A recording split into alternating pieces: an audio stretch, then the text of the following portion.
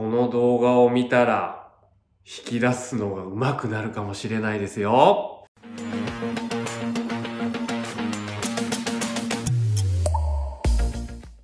どうも皆さんこんにちは。渡辺です。今回は引き出すのがめちゃくちゃ上手くなるヘアアレンジのご紹介です。長さはロングでもミディアムでもどちらの長さでも大丈夫です。そしてスタイル的にはくるリンパを少しね横でやっていく。横リンパを使ってやっていく。でそのスタイルだとちょっとね左右のバランスがちょっとアンバランスになってしまうっていうのがあります。なんですけどメリット的にはゴムがすごく隠れやすくてちょっとおしゃれに見えやすいっていうのがポイントなんですけど。でその左右がアンバランスになってるのを少しね、えー、バランスよく見せていく、えー、髪の毛のボリュームの出し方だったりとかを今からね、えー、やっていきたいと思いますので普段ねこの引き出すのがちょっと難しいだったりとかバランスの取り方が難しいっていう方は一回この方法でやってもらえたら結構形的にいい感じになるかなと思いますので是非参考にしてみてください。それでは動画をどうぞ。まずブラシで溶かしていきます。次に髪の毛をまとめていきます。でまとめる位置は、まあ、大体耳の少し下あたりでちょっとねしっかりめにまとめるようにしてください。しっかりとまとめたらゴムで結んでいきます。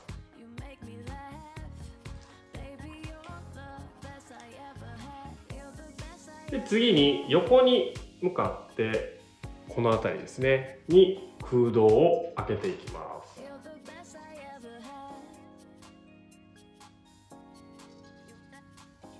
で空洞を開けたらこの横に向かってくるりんぱを横にしていきます。こんな感じで角度的に。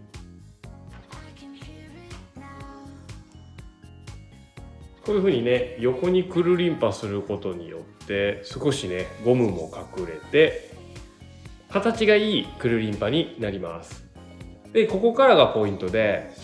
こっちの部分が少しねボリュームが出ててこっちの部分が少しへこんでる状態になってます。なのでこの部分をバランスをちょっと合わせていくんですけどその時にちょっと毛先の部分を持っていただいてこういうふうにこう引き出すみたいな感じでね、えー、多くのヘアアレンジでやっていくんですけど、それよりもちょっと簡単な方法があって、指を使って、この引き出したいところ、まあここのちょっとね、へこんでる部分があるので、ここの部分をボリューム出すときに、つまむのではなくて、ここの中に指を入れていきます。指を入れていって、その部分だけをこう引き出す。こういうふうにすると結構簡単に誰でもこうボリュームコントロールができるっていう感じですこうやって分かりますかね？指を中に入れてあのあんまりねあの無理には引っ張らなくてもいいかなと思うのでちょっと入れて引き出したいところをこうやって出してあげる。そうすると結構ね簡単にねこの辺のボリュームも出たって分かりますかね？こういうふうな感じにして全体的にこう鏡を見ながらバランスを整えていきます。騙されたと思ってねこの指を中に入れて下からこう広げるような感じでやってみてください。結構簡単にできます。である程度この両方のバランスが整ってきたら次にちょっとねつまんで凹凸を出していく。感覚的にはこう引き出したら1本開けて引き出す。でまた1本開けて引き出す。1本開けて引き出す。もう大体で構いませんのでちょっとねこういう風な凹凸をつけることによってまたねおしゃれなヘアアレンジになります。この辺の部分とかもまあお好みでちょっと引き出してあげるとまたねバランスも良くなります。で、髪の毛が長い方に関しては、コテだったりとかで、またね、毛先を、動きをつけていきます。もう大体ワンカールで大丈夫ですので、1回転だけ毛先を巻くようなイメージ。でミディアムヘアの方に関しては巻かなくてもバランスよく決まるかなと思うのでそのままでも結構ですまあ巻ける方は巻いていただいたらよりね華やかにルーズ感が出るので余裕がある方はそういう風な感じでやってみてください。でバランスが整ったら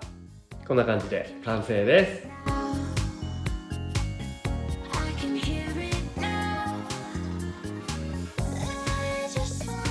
はいということでこんな感じで、えーやってみました。ポイントとしてはこの指を髪の毛の中に入れる。もうこれがポイントです。